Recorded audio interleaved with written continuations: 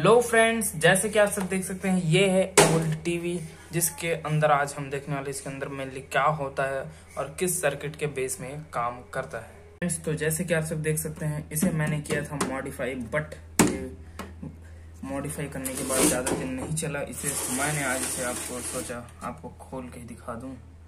तो कुछ इस तरीके का फ्रेंड्स तो जैसे कि आप सब देख सकते हैं, ये वाला जो है, ये हमारा ये सर्किट बोर्ड है इसका। ये हीट श्रिंक लगा हुआ है। यहाँ पर एक हीट श्रिंक है। ये यहाँ पर से डिस्प्ले की वायरिंग है। और फ्रेंड्स क्योंकि ये टीवी खराब हो चुका है, इसका ये वाला सिस्टम ये पूरे तरीके से जल चुका है। और फ्रेंड्स इसका ये वाला जो ये कन्वर्टर होता है, इसमें ज़्यादातर जंक लग जाता है और ये बहुत जल्द खराब हो जाता है। मतलब ये उस टाइम में बहुत टाइम तक चला है, इसे पंद्रह से चौदह साल हो चुके हैं, उससे ज़्यादा भी हो चुका है। और फ्रेंड्स इसमें